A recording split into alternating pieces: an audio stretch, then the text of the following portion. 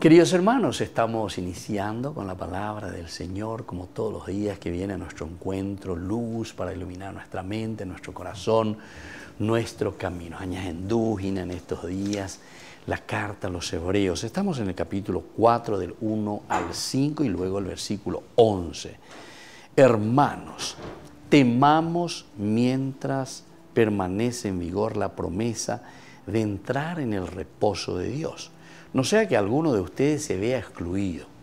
Porque también nosotros, como los que salieron de Egipto con Moisés, hemos recibido una buena noticia. Pero la palabra que ellos oyeron no les sirvió de nada, porque no se unieron por la fe a aquellos que la aceptaron. Bueno, y así continúa, queridos hermanos. Oñe, pues temamos mientras permanece el vigor de la promesa.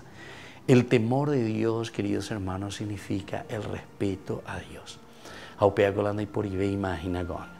Upea galo faltañan de hina opeare te cotemeña mañana mañana mombureja ñañe mi temamos. El temor de Dios quiere decir peñan de yara o mongruñana lleva o poscoñan de deje. Ñanere no hina lleva popona janguape y mía. El temor de Dios es lo único que nos puede ayudar, queridos hermanos, a crecer y hacer crecer nuestra comunidad, porque quiere decir que le respetamos a Dios, quiere decir que entendemos el actuar de Dios, quiere decir que nosotros podemos descubrir, ver, ya de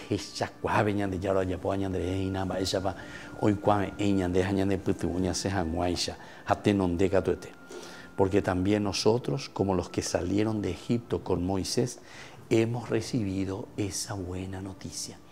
Y esta es la buena noticia, que estamos caminando como comunidad, pero tenemos que fortalecernos, tenemos que unirnos, queridos hermanos, y no como aquellos que justamente después en el camino perdieron su propia fe, como aquellos por el camino, queridos hermanos, abandonaron al Señor. Que la bendición de Dios descienda sobre cada uno de ustedes el Padre y el Hijo y el Espíritu Santo. Amén.